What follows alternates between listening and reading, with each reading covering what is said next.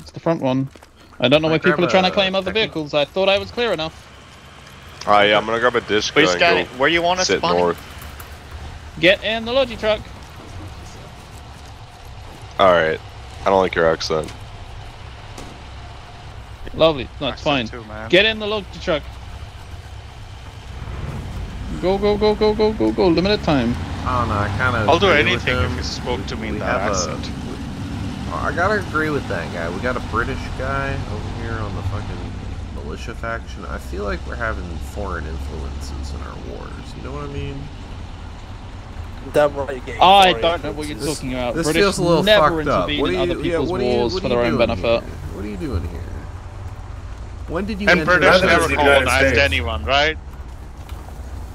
Yeah, Everyone knows so- that British The people Brits- are very he's a- trustworthy. It's in our accent. He's a British guy, and we're fighting Yeah, Canada. British this never is rigged. colonized No, no, no. This is rigged. Never did anything like That's that. honestly I don't how they you're Never seen about. back out the British accent. They just shut up to these people, started talking in a British accent, and those guys were like, you know, I don't know what he's saying, but it sounds nice.